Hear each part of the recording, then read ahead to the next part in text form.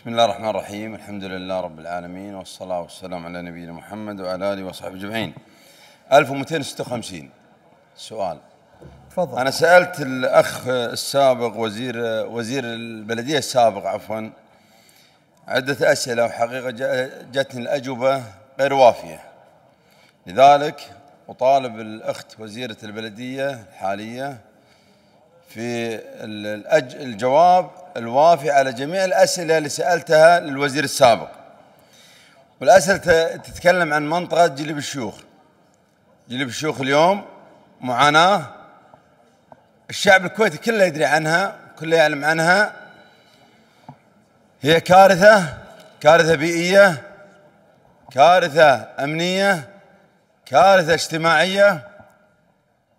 تعاقبت عليها كثير من الحكومات السابقة للأسف لم تجد لها حلول.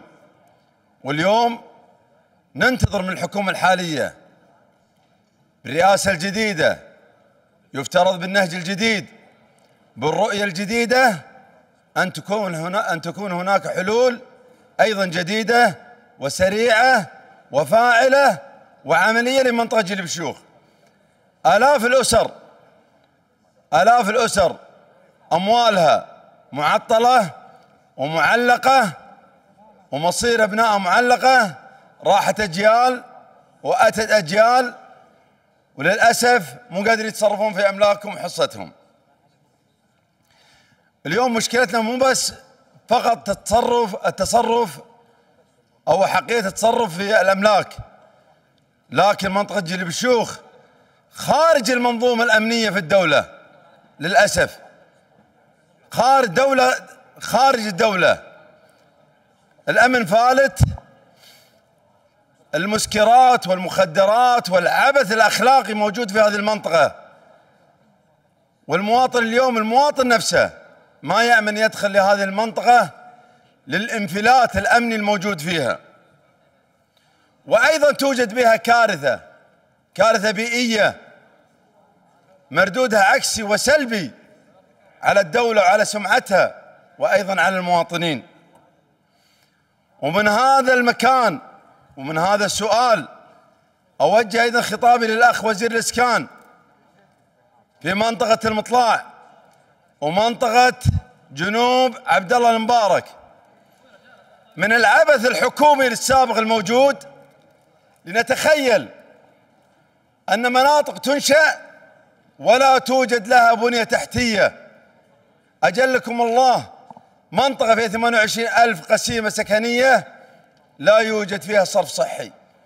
كارثة كارثة أخلاقية وكارثة إدارية وكارثة بيئية بكل ما تعني الكلمة من معنى.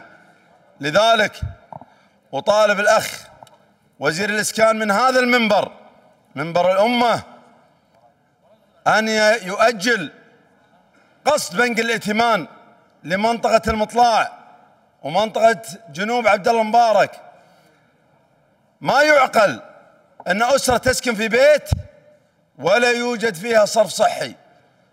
وين السكن؟ السكن في مفهومه ومعناه يكون هو استقرار.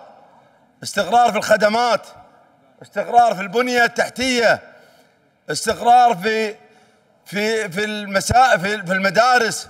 والمستوصفات والطرق والإنارة والمغافر والمساجد كل هذه المواقع ال- ال- الخدمات لا توجد للأسف إلا جزء بسيط لا لا يذكر يعني.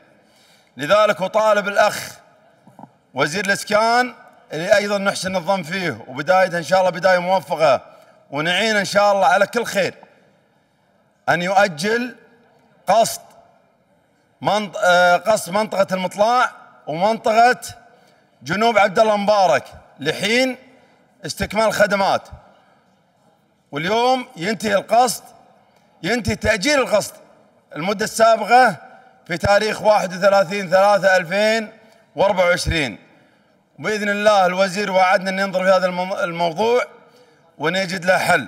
كما أطالب الأخت وزيرة البلدية أن يكون موضوع منطقة جلب الشيوخ أولوية وأولوية قصوى لدى الحكومة وبإذن الله منتظرين الأفعال وليس الوعود.